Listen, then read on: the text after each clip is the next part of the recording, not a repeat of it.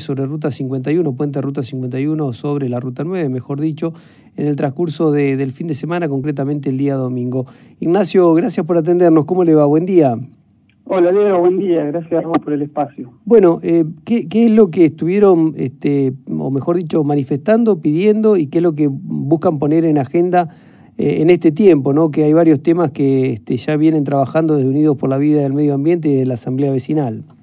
Sí, Leo, mira, te corrijo, porque eh, no fue ahí en, la 51, eh, fue así, mira, te cuento. Ajá. Eh, ¿Tengo un ratitito? Sí, cómo no, por favor. porque esto, ¿sabes? Esto nace, este, hay un movimiento muy fuerte que nace acá en Rosario, después de todo el tema de quemas, bueno, que sigue ocurriendo, que es una multisectorial que se llama Humedales. Sí, lo conozco, por Carlito del Frade, que está ahí, hemos hablado con él. Ah, buenísimo. Bueno, ahí hay, eh, hay un montón de organizaciones autoconvocadas. Y bueno, ha crecido mucho ese, ese espacio y se vienen sistemáticamente todos los fines de semana haciendo cortes en el puente Rosario Victoria, en la autopista que va de Rosario a Santa Fe, y bueno, hay en las ciudades inclusive se hacen intervenciones y demás, y ese movimiento convocó eh, a que el 11 de octubre se haga un corte de la autopista Rosario-Buenos Aires y se convocó desde ese espacio a todas las localidades a lo largo de la Ruta 9 que unían Rosario con Buenos Aires a que participen de esa actividad. Y así fue como este domingo eh, vino gente de Buenos Aires, de Ramallo, de San Pedro, de San Nicolás, de Villa Constitución, de Rosario al puente de Arroyo del Medio, que es donde se separa eh, geográficamente Buenos Aires de la provincia de Santa Fe. Y eh, nada, y ahí se hizo una manifestación.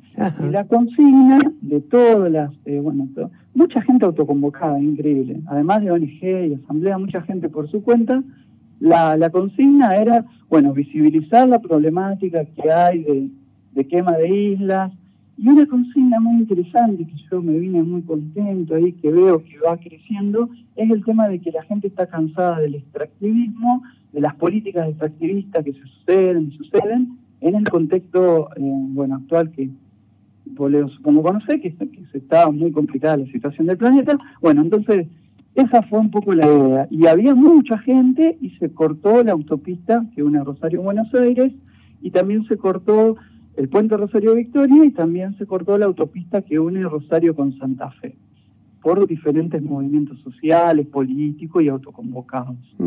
Eh, vi que uno de los temas, por lo menos, digo, hay, varios temas, ¿no? Pero uno de los que es central es el tema de la ley de humedales. Eh, eh, digo, ¿dónde están parados hoy? ¿Qué es lo que ustedes ven? digo, ¿por qué no se avanza? pareciera que es este, complejo algunos temas, digo, que avancen en el Parlamento Nacional, ¿no? Sí, pero mira, no estoy muy empapado con la ley de humedales, Leo, pero si querés, todo está nucleado en, una sola lucha que es la de cambiar el modelo productivo. La verdad que no, no, no sé por qué eh, no avanza, sé, escuché por ahí en la asamblea, escuché que en estas semanas iban a, a, empezar a abordar en algunas comisiones el tratamiento de algunos artículos, pero no, no estoy al tanto de qué es lo que está sucediendo. La verdad es que vos sabés que a, veces me involucro un poco en esas cosas, leo un poco porque ya me ha generado tanta desconfianza la, clase política. Si bien sé que se está avanzando y, y, sé que muchas ONG están laburando y discutiendo y se juntan y hay artículos que, que se discuten y están construyendo y son las herramientas que tenemos para construir pero, viste, no sé, qué sé yo, a veces me hace, ya, viste, las leyes tampoco funcionan en nuestro país, entonces, qué sé yo, por eso te digo, porque vos me decís, loco, vos andás en esas luchas y no está, sí, no, no estoy porque a veces con las leyes no alcanza. Yo creo, hoy, hoy mi, mi convicción más grande está en la gente, viste, y en los jóvenes. Ahí creo que está el poder de transformación social que hace falta. Ahora, eh, Ignacio, también a mí me parece, yo vengo viendo ¿no? cómo se dan las cosas en diferentes partes del mundo, pero a mí me parece que como que hay, eh, digamos, a, lo que es el reclamo medioambiental o, digo, en este tiempo se consiguió ponerlo en agenda, darle visibilidad a todo, pero para mí le falta la herramienta política. Y veo, por ejemplo, en Europa el Partido Verde va ganando espacio, hay un Partido Verde, de hecho acá en la Argentina hubo algunos, no, lo tienen que pensar en algún momento, decir, bueno, eh, este, se terminó el tiempo de darle visibilidad o discutirlo en el plano de lo que son los medios de comunicación, redes sociales, y no ir a un espacio institucional? Oh, buena pregunta esa. No sé si tengo las herramientas para... que a veces las, cosas son tan amplias que hay que mirarlas un montón, ¿viste? Eh, me, animaría a decirte que sí, pero, qué sé yo, ¿vos, vos creés que a mí, no sé, en estos pocos años me hace, nunca veo que la clase política genere los, las transformaciones que hacen falta.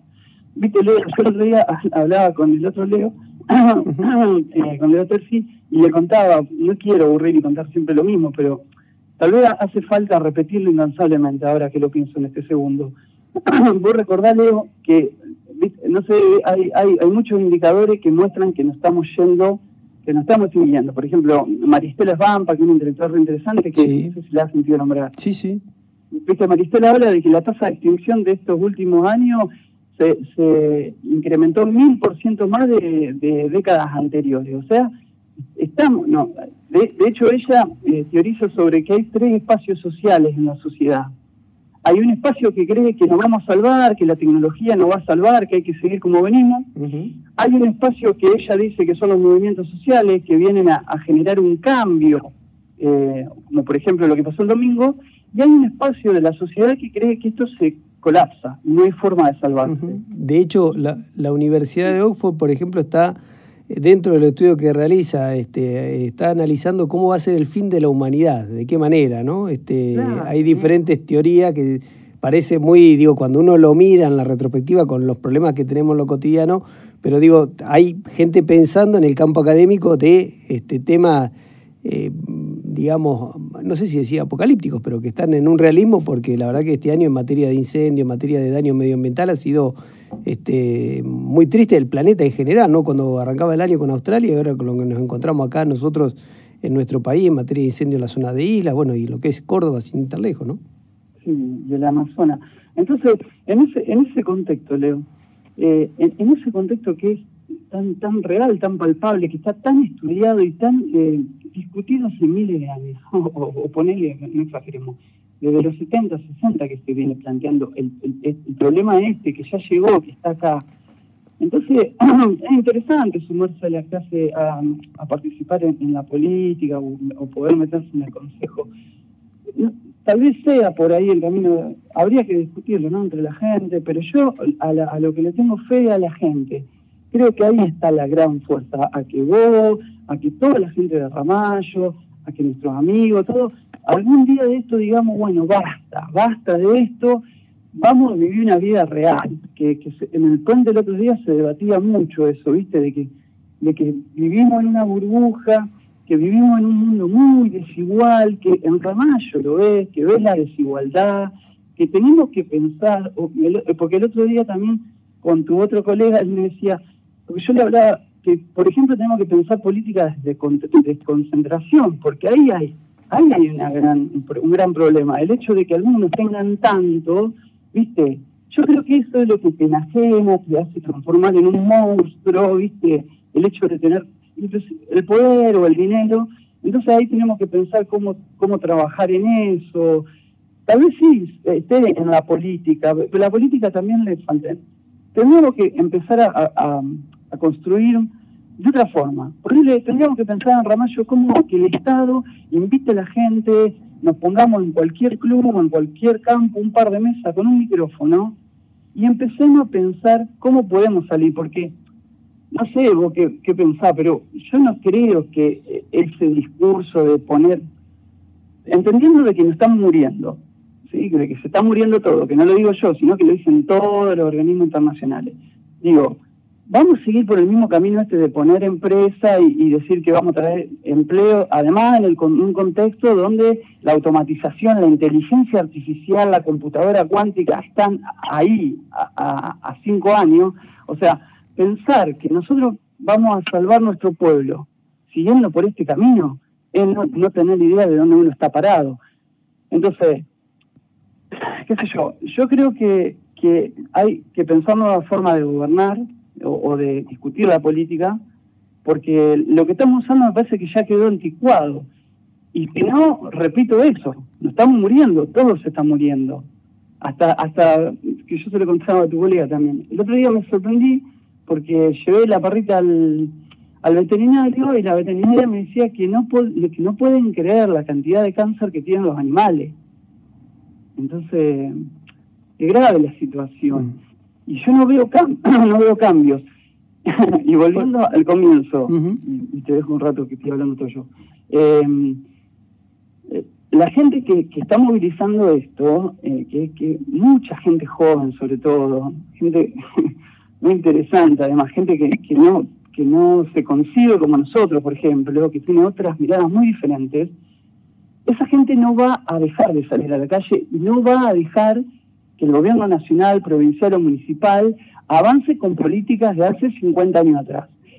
Vos sabés que yo veo esa fuerza y esa ruta la van a cortar mil veces y donde esto se siga haciendo, como por ejemplo, me voy a nivel nacional, el acuerdo con el tema de los cerdos, de la factoría de cerdos. Sí. Si eso avanza, yo veo un sector de la población que va a cortar la ruta y no se va a ir de la ruta, porque ellos saben, porque ya lo estudiaron, porque lo sienten de que no estamos yendo a la B. Entonces, hay gente que tiene que vivir la, vida que nosotros vivimos en la Tierra hace bastantes años y que hemos vivido bien, bueno, ellos también la, la quieren vivir. Y bueno, y las políticas de este modelo actual que replica lo que pasaba hace, no sé, 50, 60 años atrás, 70 años atrás, entonces ya no, no lo quieren más y quieren una verdadera transformación porque hay sufrimiento también, la gente sufre, hay mucha exclusión. Entonces, yo creo que este movimiento es muy potente y que no, no va a frenar hasta que no haya verdaderos cambios para la gente, no para las empresas, no para la guita, sino para la gente.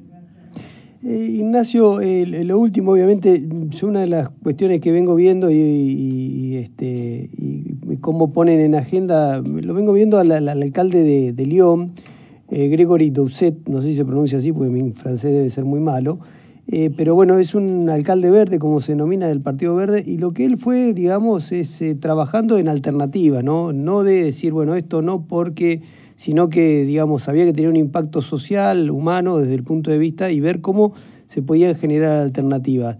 Eh, ¿Puede haber un cambio, digo, de esas características en el modelo que ustedes plantean hacia adelante?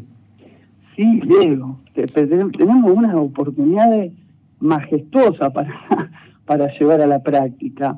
Obviamente que, que no es tan fácil, pero está pero está, está todo, nada más que hay, en algún momento hay que tomar la apuesta, sentarse a discutirla, a pensarla, qué sé yo, que yo me imagino, que nos, que nos sentemos la clase política, la, eh, la ciudadanía, en una mesa a discutir cuáles son los principales problemas que tenemos y cómo los podemos resolver. Las soluciones están todas, solamente hay que tomar la decisión política de encararlas. ¿Qué sé yo? En, nuestro pueblo a mí se me ocurren nuestro pueblo tiene una riqueza impresionante. Tenemos un millón de, salidas para tomar. Obviamente que va a haber que renegar, porque va a haber que, juntar un poco de guita para llevar a cabo algunos proyectos. Pero eh, podemos generar un, un, montón de empleo, podemos generar, no sé, hay que, hay que pensarlo, sí, hay, hay un montón de cosas. Yo creo que ya les conté a muchos de ustedes que nosotros en Armstrong, por ejemplo, acá en Provincia de Santa Fe con la universidad, hicimos un proyecto donde, por ejemplo, laburamos que el pueblo de Armstrong pueda generar su propia energía.